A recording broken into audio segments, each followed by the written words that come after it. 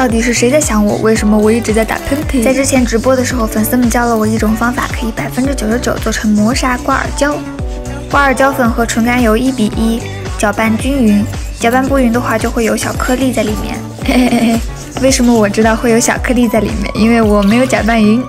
搅拌完之后再加入热水，热水你们看着加吧，我这个也不知道是几比几。再加入色素，我们要做一个黄黄的。就在前几天，我突然闻到家里做泥的那个房间特别的臭，然后我就左闻闻右闻闻，想看看到底是什么坏掉了。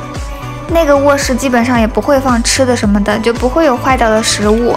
然后我的目光转向了我用保鲜袋装着的史莱姆，有一块瓜尔胶发霉臭掉了，是不是因为天气太热，我做的瓜尔胶几乎无一幸免都臭掉了？到底是我没有讲究卫生，还是瓜尔胶都是这个样子呀？好了，我们下期视频再见。